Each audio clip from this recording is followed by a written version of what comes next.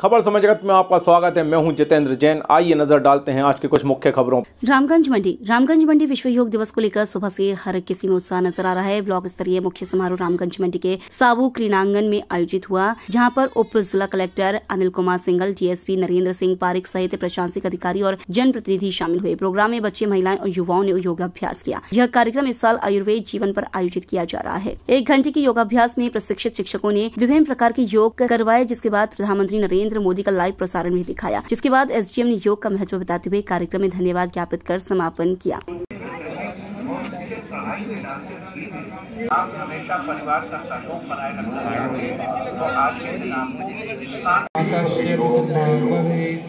ओम शांति शांति शांति।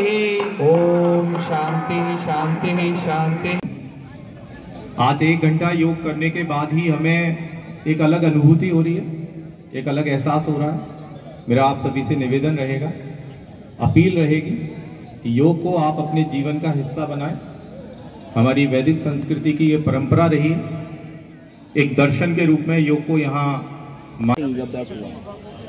आज दसवां अंतर्राष्ट्रीय योग दिवस ब्लॉक स्तरीय कार्यक्रम यहाँ साबू क्रीड़ांगन में मनाया गया है।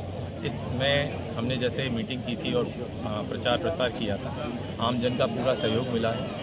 पूरा ब्लॉक, समस्त सरकारी कर्मचारी, अधिकारी और जनप्रतिनिधियों ने इसमें भाग लिया है।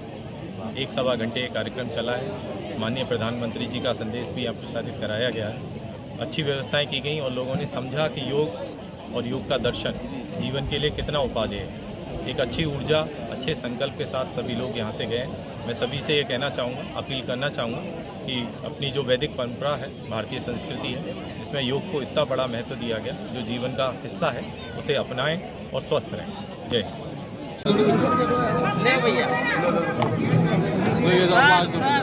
समय जगत न्यूज़ के लिए रामगंज मंडी से पप्पू गौड़ की report. For latest news, subscribe to our channel and press the bell icon.